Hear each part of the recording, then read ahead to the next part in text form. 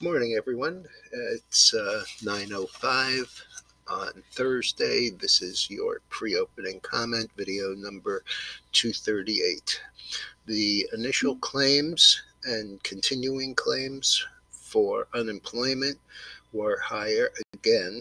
Uh, the expectation was about 2.7 million and it came in at just under 3 million. Doesn't seem like a lot, but it is a 10% worse than expected at 2.98. Uh, import prices were down 2.6%, and export prices were down 3.3% versus an expected 2.1%. Um, the chart here on the screen is the oil and I'm trying to make the same point about this that I have for the last couple of days. It seems to be going nowhere. Um, it's had a series over the last four or five days of slightly higher highs and slightly higher lows. Um, that may look constructive to some, but to me it says it can't get out of its own way.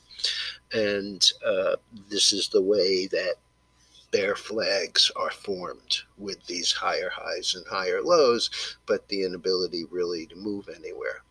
Um, on the positive side for it, the five day has not rolled over.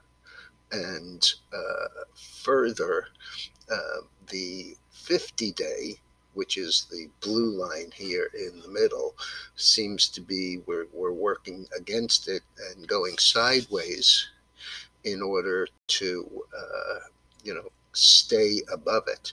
Uh, we would clearly need a close.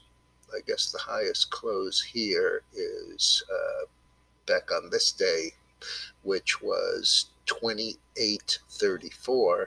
Currently, we're trading 26.44. So I'm um, not really sure uh, whether that's going to make it or not. Uh, this is not one of those charts that I'm going to make a guess, even an educated guess. I'm going to wait for something to happen. Uh, so the news this morning, when the news came out on the uh, unemployment claims, the Dow was down about 200. Uh, fair value is not an issue today. It's you know a dollar or two in either direction. Uh, the Dow then traded down to minus about 310. And uh, right now we're down 280. The Nasdaq is down about 65. The S&P is down about 22. As I said, oil is up a little. Um, I want to look at the gold chart here also because uh, I've been very bullish on it. Um, I've been wrong for uh, the last couple of trades, and this morning it's up about nine or ten dollars as you can see here, up 9.9. That was pretty close.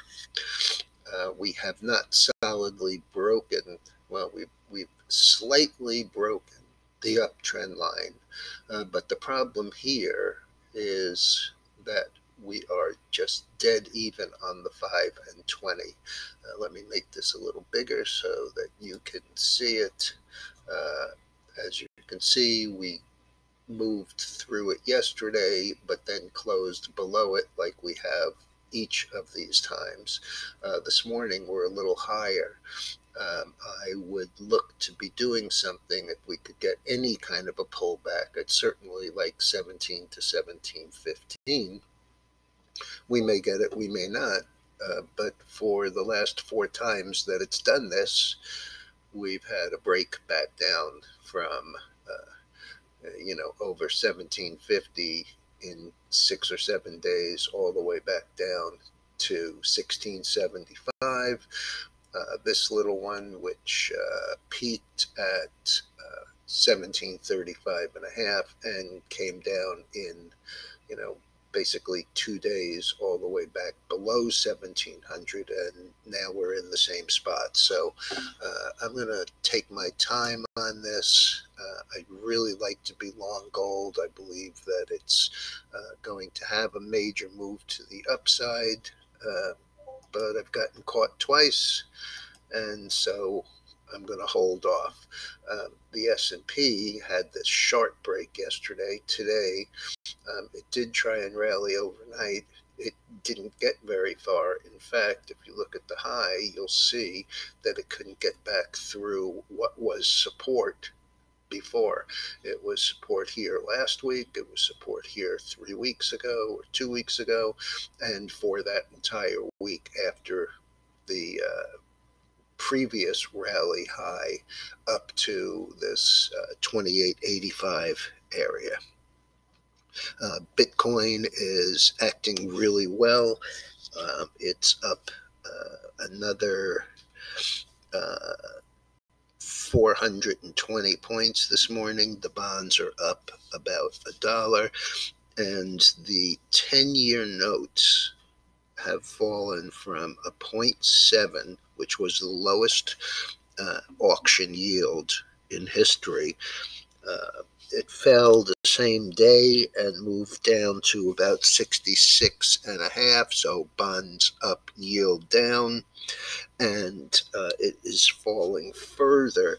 Uh, right now, it's uh, I just saw it go by at 6.15, uh, which is you know again continuation on the downside. Uh, the market looks like you know it wants to keep trying to rally but it tried that all afternoon yesterday couldn't make it and we saw the sell-off that occurred between 3 and 3.30 and the tiny little rally that uh, occurred uh, right before the close uh, we also had Cisco, who reported last night. Um, the stock was up about a dollar from where it has closed. It's this morning. It's down about 50 cents, which makes it 50 cents higher than uh, it was, but uh, still down on the day. Um, you know the interest rate structure here is uh, you know a real concern. Um, banks are doing incredibly poorly. JP Morgan is down over $2 this morning. Um, it's, you know, well under 100 again. Um, you know, it looks like it might be a buy, but, you know, until we see some sort of stabilization, I just can't do it.